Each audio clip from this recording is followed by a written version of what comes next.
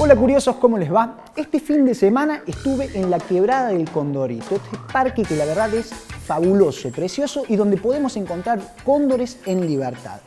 Pero no tiene solamente la particularidad de tener cóndores sobrevolando por las alturas, sino que para los biólogos este parque es una especie de isla ecológica. Y esto principalmente debido a la altura en la que se encuentra. Mientras nosotros recorremos el parque vamos a encontrar especies andinas y especies patagónicas. En los terrenos planos vamos a encontrar pastizales de altura y en las quebradas bosques de tabaquillos y maitenes. La provincia de Córdoba tiene un montón de áreas naturales protegidas y hoy vamos a conocerlas.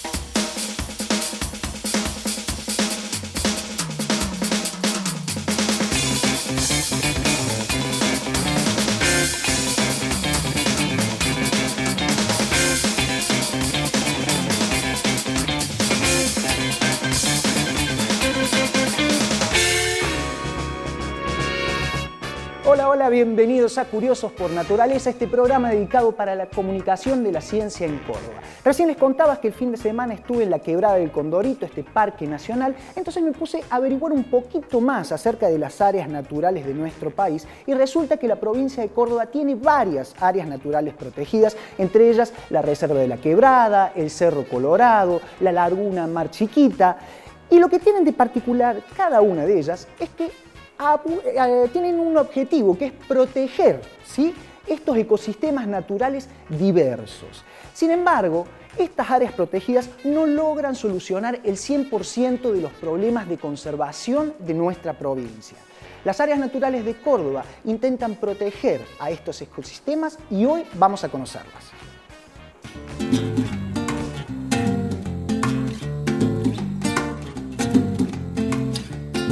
Las reservas naturales se definen para conservar algunos ambientes, evitar la perturbación irreversible de ciertos ecosistemas y fomentar el uso sustentable de los recursos naturales. La forma de concebir las reservas naturales fue cambiando a lo largo del tiempo. Actualmente, conservar significa manejar el medio natural para alcanzar objetivos ecológicos, sociales, económicos, científicos o culturales. En Córdoba existen diversos parques nacionales y reservas naturales que persiguen objetivos de conservación. Vamos a ver qué rol juegan estas reservas en el ecosistema provincial y cuál es su importancia.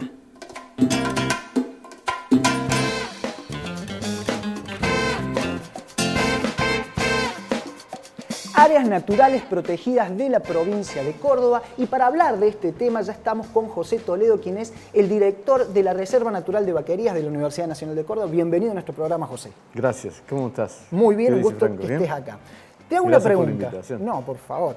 Una pregunta, vos sabés que recién estuve escuchando por ahí que en la Reserva de Vaquerías apareció una orquídea que se creía extinta. ¿Esto es así? No.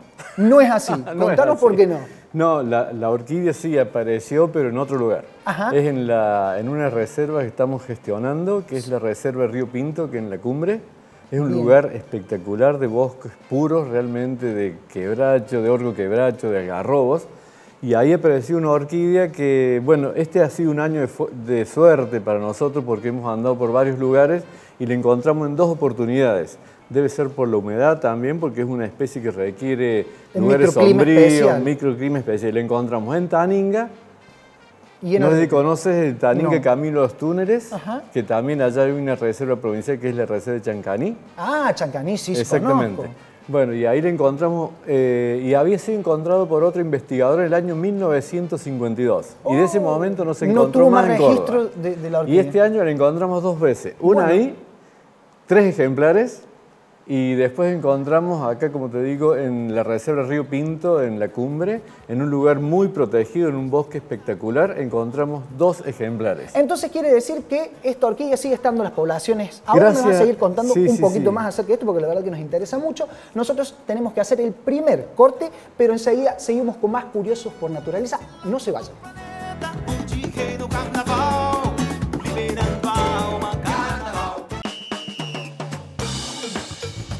Bien, seguimos en Curiosos por Naturaleza y seguimos charlando también con el director de la Reserva Natural, natural perdón, de Vaquerías, José Toledo. José, nos contabas hace un ratito acerca de esta orquídea ¿no? que se creía extinta y apareció. Contanos un poquito más. Sí, como te decía anteriormente, la orquídea fue eh, vista por última vez en 1952 y ahora la encontramos en el 2017 en dos lugares distintos, posiblemente por viste que hay un cambio climático, por mayor humedad en el ambiente y porque estas zonas son bosques este, donde hay muy poca actividad humana.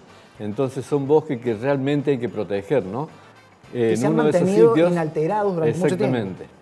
En uno de esos sitios estamos trabajando para que esa zona sea reserva natural, que es la del río Pinto. ¿no? Exactamente. que es ahí, no sé si conoces eh, Cuchi Corral. Sí, donde se tiran por parapente. Exactamente, que es jurisdicción de la cumbre. Y bueno, ahí queremos establecer una reserva, estamos hablando con los pobladores, algunos están de acuerdo, otros no, pero bueno, lo importante es que preserva esa zona, que son unos bosques espectaculares y bueno, estos bosques están protegiendo esta especie que aparece ahí por primera vez. Qué loco, en, más de 70 años. Sí, exactamente. José, ¿y estas, estas, estas eh, reserva que se quiere hacer, ¿qué, dimensiones tendría más o menos en la de Río Aproximadamente son 15.000 hectáreas, eh, donde estaría incluido un ejido municipal de 700, más o menos 700 80 creo que son. ¿Y son necesarias más áreas protegidas en la provincia de Córdoba, José? Sí, estaría muy bueno. Hacer corredores, hacer áreas importantes de protección porque hay ecosistemas o lugares donde eh, hay hitos importantes de la naturaleza ya sea especies o cascadas o lugares geográficos importantes, lo mismo que monumentos antropológicos, digamos, hay... Como Cerro Colorado, digamos, que como también Cerro Colorado. es una área para proteger. En ese, eh, lugar que estamos queriendo proteger hay morteros y hay aleros. No hay pictografías, pero eh, hay sí, rastros de, rastros de, que ha habido poblaciones, poblaciones originarias viviendo ¿no? O sea, la importancia, la importancia de las áreas naturales es que cumplen distintas funciones. Distintas funciones, exactamente. Proteger la arqueología, la naturaleza, los bosques, algún hito natural, como una cascada. O, especies naturales, especies este, nativas que, bueno, son únicas en ese lugar, ¿no? A lo mejor este lugar de Río Pinto va a proteger esta especie que es la única que se encontró en el único lugar, ¿no? Y todavía quizás sea el único lugar donde queda en la provincia de Córdoba, ¿no? Y bueno, no, te decía que le hemos encontrado ah, en, Taninga, pero bueno... Bueno, son dos eh, lugares que están más o menos cerca. Son dos departamentos, uno es Pocho y otro es Punilla. Claro. ¿Cierto? Pero no, para el, para el valor de esta reserva tener esta especie es muy importante también, ¿no? Bien, entonces te invito, José, que vamos a ver un tape sobre la Reserva Natural de Vaquerías y que José y Diego estuvieron averiguando algunas cosas ahí. Esa reserva es de la Universidad Nacional de Córdoba, porque a lo mejor hay algunos este, televidentes que no saben, pero bueno, esa reserva de Vaquerías es la reserva de la Universidad de Córdoba que tiene... Eh, aparte de ser nacional, es una reserva provincial y ahora le hemos hecho una reserva privada. ¿no? Perfecto, vamos a ver entonces el tape y conocer un poco acerca de vaquerías.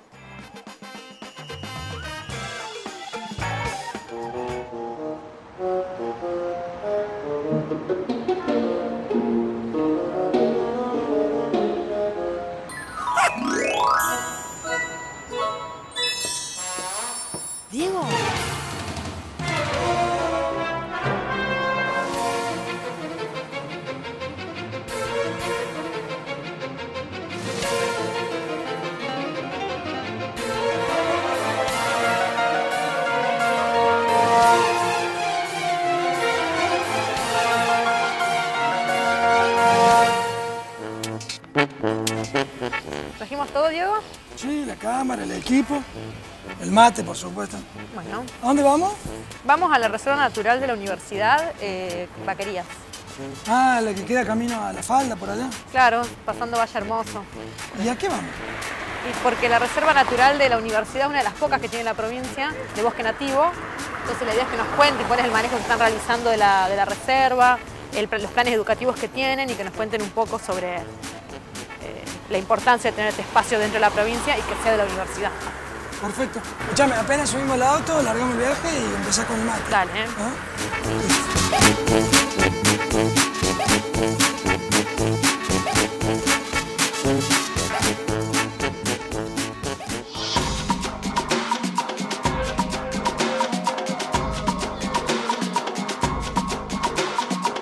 La Reserva Vaquerías es una reserva de la Universidad Nacional de Córdoba que está ubicado en el Valle de Punilla, precisamente en, la localidad de Valle Hermoso. Está protegida por dos guardaparques que trabajan constantemente en, este sitio, eh, preservando la biodiversidad, preservando los recursos naturales. Eh, es una reserva natural, pero está más destinada a investigación y a educación fundamentalmente. ¿no? Acá vienen muchos investigadores de biología, geología y otras carreras a hacer sus investigaciones y también profesores a dar sus charlas y sus talleres de, biodiversidad acá, tanto desde el punto de vista geológico como, biológico. ¿no? Y bueno, eh, nosotros traemos colegios y les damos talleres de bosque nativo, les enseñamos cómo es la, el, proceso de los servicios ecosistémicos que, que, brindan los bosques, le enseñamos que tenemos acá una producción de plantines, tenemos un vivero y bueno, compartimos con ellos nuestras actividades diarias. ¿no?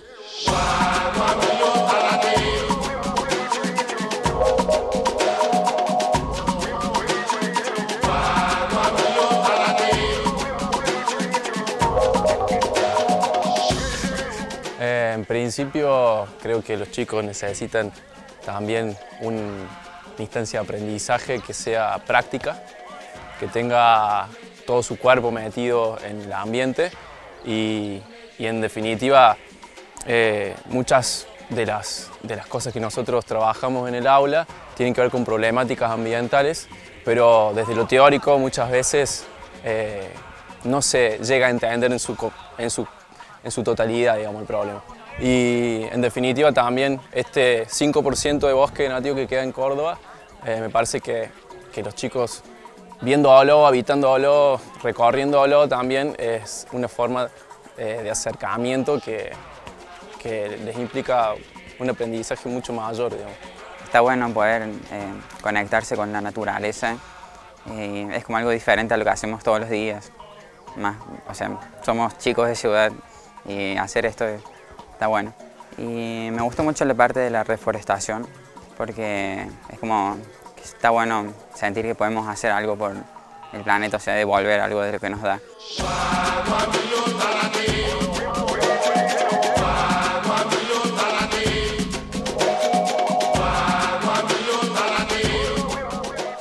La reserva cuenta con una biodiversidad muy grande, eh, entre están las aves, los árboles, los mamíferos, anfibios, reptiles, bueno, todos los grupos animales propios del bosque serrano. Eh, un poco los que más conocemos y los que más tenemos contados son las aves. Contamos con 170 especies de aves eh, diferentes, algunas de permanencia durante todo el año, algunas solamente están en el verano o en el invierno. Y después también tenemos un montón de, mamíferos, ¿no? Hay corzuelas, hay pecaríes, hay pumas, hay gato montés, todas las especies que pertenecen al bosque serrano las hemos registrado acá en la reserva y bueno, contamos con toda esa biodiversidad, además toda la flora principalmente del bosque serrano, ¿no? Árboles, arbustos, enredaderas.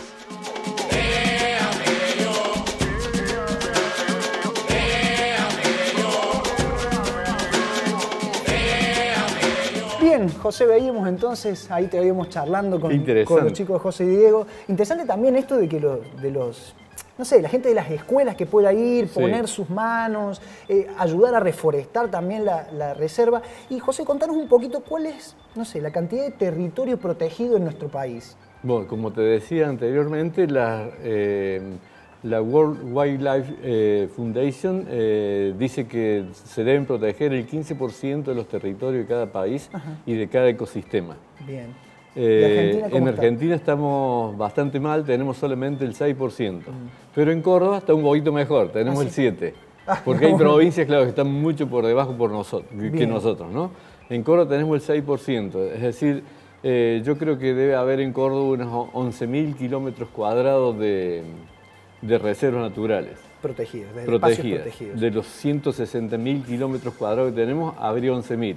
Y para llegar a ese 15%, por lo menos deberíamos tener 20, 30.000, ¿no? O sea que vamos camino a llegar a eso.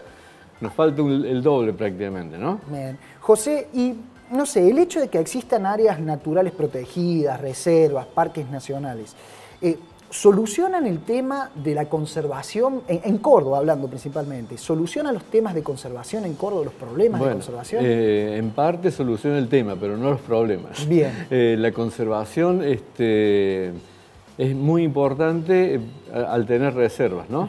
el problema es que las reservas tienen que estar muy bien atendidas. Si tenemos reservas sin guardaparque, sin un centro de capacitación, es decir, las tenemos mal atendidas, ya sean provinciales, nacionales o privadas, eh, no tienen ninguna función, digamos. Eh, nos está pasando, como te decía anteriormente, en la Felipa, este, donde los guardaparques fueron retirados, las camionetas fueron retiradas, y bueno, es una reserva que es de papel nomás. Digamos, eh, de hecho no funciona, ¿no? nosotros tenemos dos guardaparques, ahora tenemos dos camionetas, y como mostramos ahí, eh, digamos, nuestra función principal es la investigación y la educación. Entonces estamos destinando todo ese territorio a esto, ¿no? A formar gente, a estar haciendo... crear conciencia. Exactamente, a crear conciencia. José... Y me parece que algo, disculpame, ¿no? Sí, sí. Eh, termino la idea, eh, que algo importante para proteger que debería hacer el gobierno es mejorar la calidad de vida de los campesinos. Es decir, vos viste que por proteger los bosques hay un hay un beneficio económico. Mm. Ese beneficio económico es mínimo, irrisorio. Entonces eso hay que mejorar para establecer que esta gente, que no se nos venga, que, perdón, no se venga a vivir a la ciudad, sino que se quede ahí porque es importante la actividad que ellos realizan, en los bosques, porque los cuidan realmente, ¿no? Tal cual. Y le sacan provecho. Tal cual. José, la verdad que ha sido un gustazo que hayas estado con nosotros acá. Queremos agradecerte la, la visita. Con la gente de Cuadre, nuestra librería amiga, tenemos un librito para regalarte, que es El desafío del cangrejo, del cangrejo, mira, avances y conocimientos en la prevención y tratamiento del cáncer. Ese es para vos, te lo dejamos. Muy bien, muchísimas Ojalá nos veamos en alguna otra oportunidad. Dale, Franco. Un eh, cuando me llame estoy dispuesto. Maestro José. Nosotros ahora sí nos vamos a un corte y enseguida volvemos con más Curiosos por Naturaleza. No se vayan.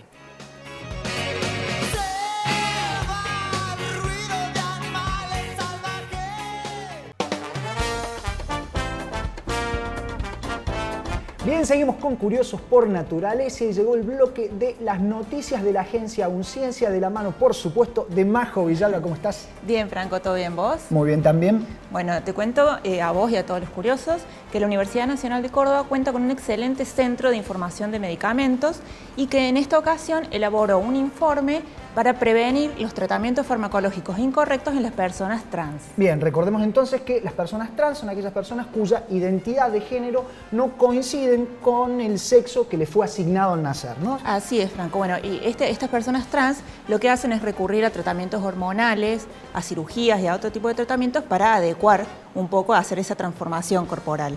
Lo que este informe destaca es que en la Argentina la comunidad transexual tiene un grave problema que es la automedicación. Eh, hablamos de eh, inyectarse algunas cosas que son muy peligrosas para la salud. Bueno, claro, por supuesto estamos hablando de siliconas y aceites que, eh, no sé, intentan adecuar el cuerpo a, sus deseos. Así es, se trata de productos químicos que se infiltran en distintas partes del cuerpo, se inyectan para, a modo de relleno pero que son muy peligrosos. Entonces, eh, justamente en, este sentido y para solucionar y para hacer algún aporte, el Centro de Informaciones de Medicamentos de la Facultad de Ciencias Químicas elaboró este informe que además las recomendaciones están adecuadas a lo que es la legislación vigente de la Ley de Identidad de Género aprobada aquí en Argentina.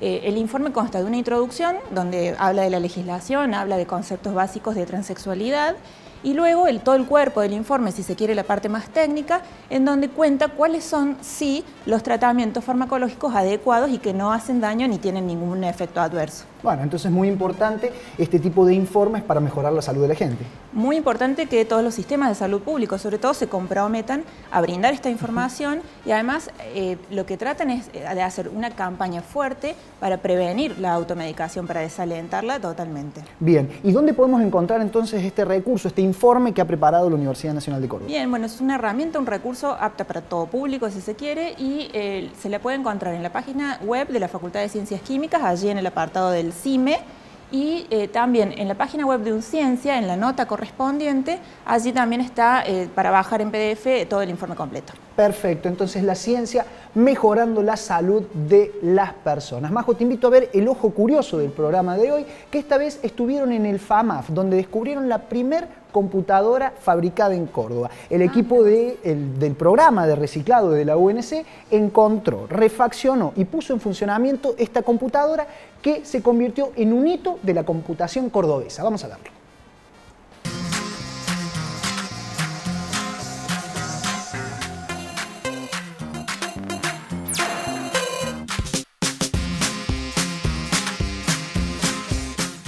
Acá en el auditorio de la FAMAF, de la Universidad Nacional de Córdoba. Eh, atrás se puede ver eh, dos ejemplares de la microsistema 101. Eh, esta computadora es una máquina que estamos investigando desde más o menos hace tres o cuatro años junto con Gustavo del Lago, que es un investigador del SAMCA. El SAMCA es el programa de Salvando la Memoria de la Computación en la Argentina. y bueno, y estos ejemplares, el que se ve más cerca mío es un ejemplar del programa de reciclado de la UNC. En un momento aparece una de estas computadoras y Ezequiel Chesini, de, que trabaja en ese programa de reciclado, se da cuenta que esta máquina tenía, tenía cierto valor y bueno, a partir de eso eh, nosotros nos contactamos con ellos eh, y ahí obtenemos el primer, podemos tocar el primer ejemplar de esta máquina, eh, que bueno, como ya dije, fue la primera microcomputadora cordobesa.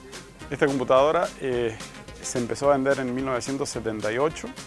Eh, es un proyecto que termina de armarse en 1977, pero el proyecto nace en 1975 con una iniciativa de eh, Julio Eduardo Bazán, que era el dueño de una eh, empresa que procesaba datos, que se llamaba Procecor, que necesitaba máquinas para introducir datos, grabadatas, como se llamaba en ese momento, y por un problema en la restricción de las importaciones, en ese momento, 1975, eh, no podía importar máquinas, entonces decide un proyecto bastante alocado por ese momento que es fabricar sus propias máquinas.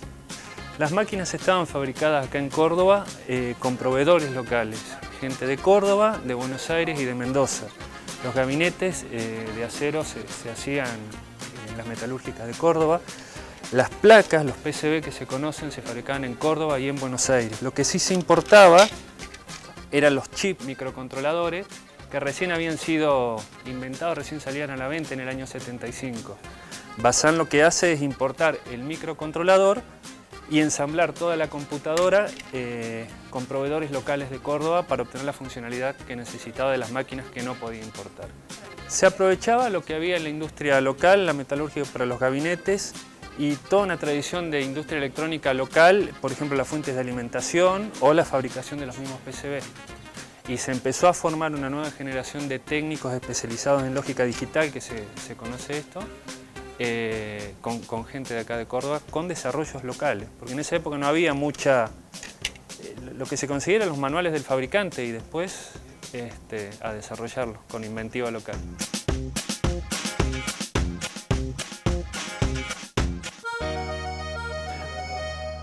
Bueno, entonces buenísima la primera computadora hecha en Córdoba, con partes hechas acá en Córdoba y los microchips importados desde afuera, ¿no? muy importante para... Además muy interesante que algo que está nuevo ya tenga historia, ¿no? Claro que sí, hay tanta historia en nuestra universidad. Bueno, nosotros hemos llegado al final de Curiosos por Naturaleza del día de hoy. Nos despedimos hasta la semana que viene, por supuesto, ¿no? Hasta la semana que viene con más curiosos y con más ciencia. Eso sí, nosotros les decimos que esperamos haber estado a la altura de su curiosidad y nos volvemos a encontrar la semana que viene en esta cita obligada con la ciencia, Curiosos por Naturaleza. Chau, chau.